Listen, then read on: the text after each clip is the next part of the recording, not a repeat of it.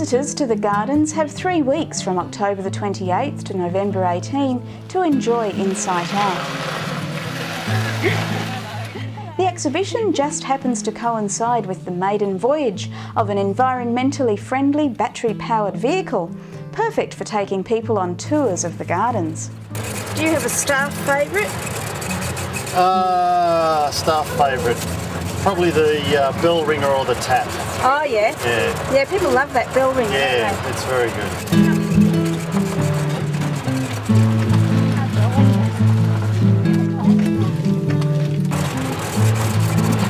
So there's the bell ringer you want to look at. Matt Walker's sculpture, The Bell Ringer, reminds us that the ringing of bells has always been a way to signify an event, whether rung slowly to mark a death or triumphantly to signify independence. The bell brings people together. The other one you want to look at, you'll just have to do a short little walk down that um, thing there. I can wait for you. Pauline Welfare's delicate porcelain pieces in fragile nature are intended to show that with global warming, greenhouse gases, and holes in the ozone layer, native plants are under threat. The title of Valerie Stewart's Twice Blessed is taken from Shakespeare. The quality of mercy is not strained, it is twice blessed.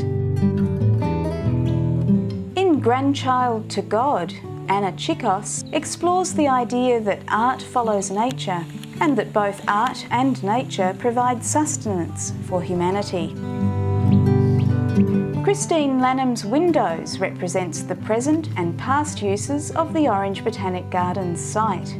You can see flora and fauna imagery, as well as farm and domestic equipment. One of the most dramatic pieces in this year's exhibition, Amanda Hammond's H2O, is a response to the drought and global warming.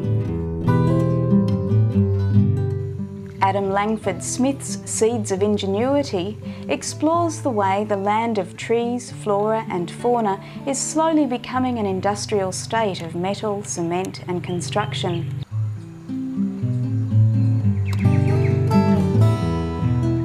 Trudgeon's Snug looks back to women of past generations who attempted to make their homes more comfortable by making rugs or quilts from whatever was available.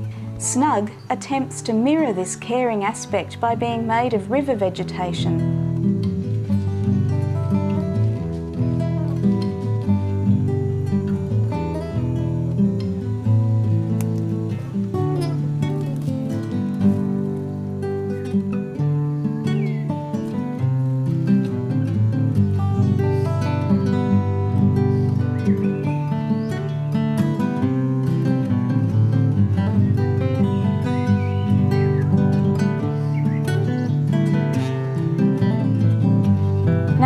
Natalie work is inspired by watching the synchronised movements of the welcome swallows as they dip and dive in the evening light.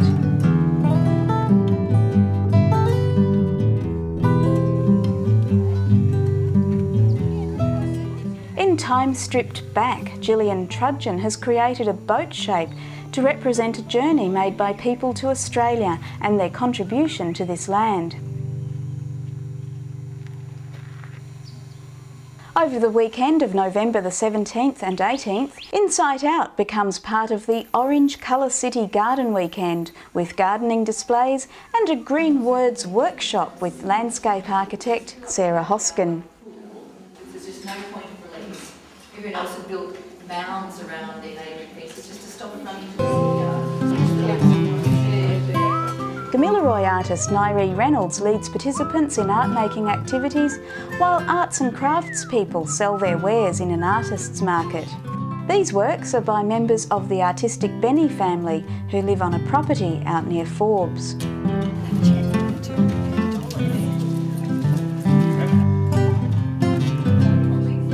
My favourite one's in the uh, rose garden. Mine's number nine. There's a little sculpture of a guy ringing a bell. and it's Oh, really yes, cool. everybody's saying that, and the same as the one in the Peace Walk with the um, bird in the hand. Members of the Orange Regional Arts Foundation are going through the artists' works, trying to decide on highly commended awards. They were also selecting an Artists Award, and that artist, one of the participating artists from In SITE Out 2007, will have the privilege of having an artist's book made specifically about their work, uh, of this work and other work that they do. The People's Choice Award was won by Matt Walker, and he did a beautiful work called The Bell Ringer.